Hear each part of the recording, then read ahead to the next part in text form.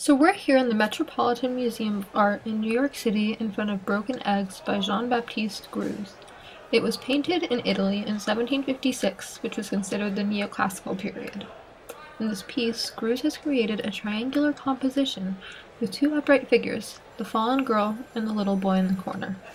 This rational composition is yet another nod of the neoclassical style in which reason is embraced in painting. There are no more frivolous compositions, but rather strong verticals that render the subjects timeless, unlike the playful diagonals of the Rococo and Baroque. There is nothing playful about the painting as the colors are dull. Only pop of color is a lover's red shirt.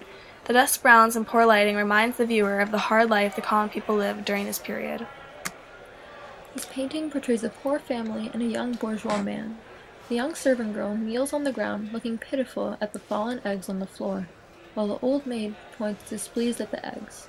This old woman, possibly the young woman's mother, seems to be upset, as we look at her facial expression and how she is firmly pointing to the mess on the floor. It is believed that these broken eggs represent the loss of virginity or innocence. The man looks as if he is of the bourgeois class because of his extravagant clothing. The little boy in the corner tries to fix the broken eggs, showing his innocence and lack of understanding of the current situation. He also is leaning against a bow and arrow, which is meant to show the dangers of messing with Cupid and love. This painting illustrates the curse of being of the lower class, as evident by the dismal lighting and faces on the subject. The mother is properly keeping the man from leaving, showing that one must take responsibility for their actions. Broken eggs can be connected to the character Fantine from Les Miserables. Both Fantine and the woman in the painting were young girls who were defined by their premarital promiscuity.